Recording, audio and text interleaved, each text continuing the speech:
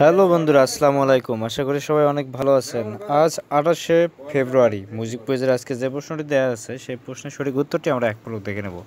তার আগে এখন পর্যন্ত যারা চ্যানেলটি সাবস্ক্রাইব করেননি, চ্যানেলটি সাবস্ক্রাইব করে নোটিফিকেশন বেলটি অন রাখুন, যাতে ভিডিও আপলোড দেওয়ার সঙ্গে সঙ্গে নোটিফিকেশন আপনার কাছে চলে যায়। হ্যাঁ বন্ধুরা, আজকের প্রশ্নটি কী? সেই প্রশ্নটির আমরা উত্তরটি জেনে নেব। তার আগে প্রশ্নটি আমরা এক পলক পড়ে নেব।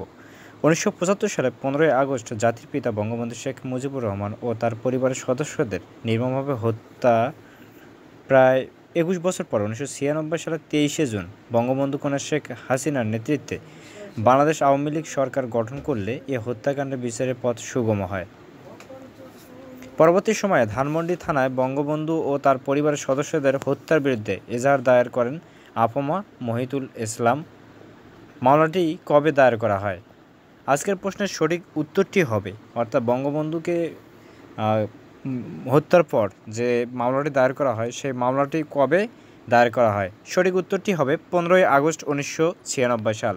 তাহলে আর দেরি না করে পনেরোই আগস্ট অপশনে ক্লিক করে সাবমিট বাটনে ক্লিক করে সাবমিট করে দিন।